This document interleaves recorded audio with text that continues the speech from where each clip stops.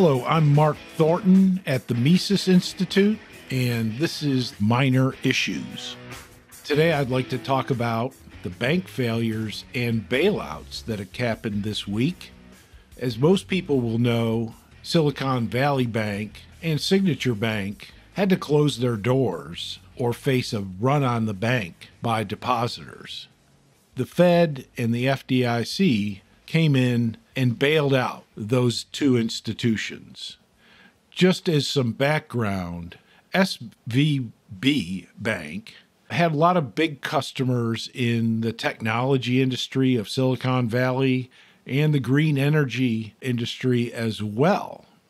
Signature Bank, their clients were more from the cryptocurrency market space and real estate. So both of those banks were sort of on the cutting edge of the economy. And both of them grew very rapidly, especially in the last few years. So they expanded deposits, they expanded their assets, and the amount of loans that they made. But that happened during the Fed's 0% interest rate policy regime and the new regime of rising rates not only increased rates to fight price inflation, but it also meant that those businesses in crypto and technology, green energy, real estate, they all had to start more or less withdrawing money from their accounts because their businesses weren't so great. That meant that those banks had to sell some assets to meet deposits but those assets had lost a lot of value. So if they sold them, it was trouble for those two banks in particular.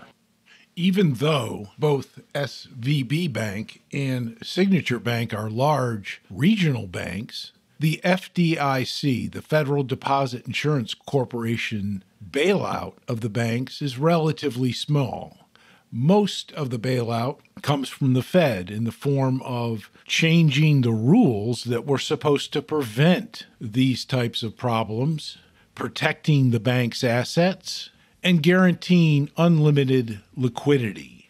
And that's a good thing in the sense that the FDIC insurance fund is actually smaller than both of these banks.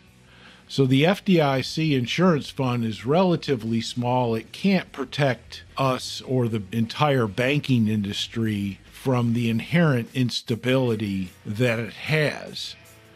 So this could be just the tip of the iceberg in terms of banking problems.